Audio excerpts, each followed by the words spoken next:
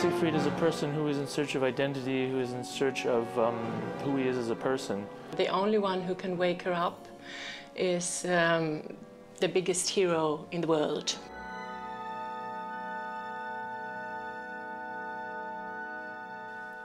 The first time Siegfried sees Brunhilde, we have this famous sentence everyone knows, and sometimes people laugh, although I think they shouldn't. When he says, Das ist kein Mann, this is not a man, he finds out it is a woman. She's very young, she's very intelligent, and she's very strong-minded.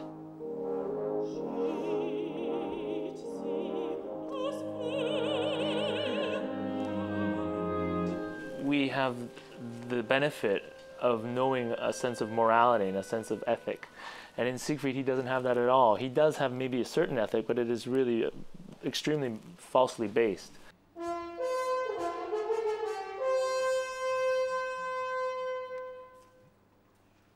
oh, this, this kind of men also exist. the only man she really knew was Wotan, and he's very intelligent and very powerful. You know, there's, there's a theme in there of, of what we as humanity are, are, are doing to, to our environment.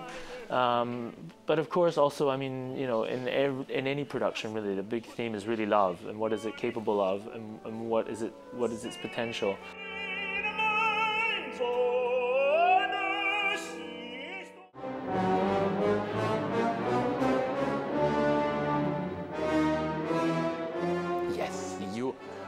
You are going to see a very spectacular production with many effects and with good, good actors, good singers. You always find out about new things and sort to think about it in new ways. The production is quite spectacular. Um, it, it, also has some of its uh, minimal uh, aspects, but I mean there are certain elements that also create a sense of scope. Allowed to be on stage and having this marvelous view to the audience.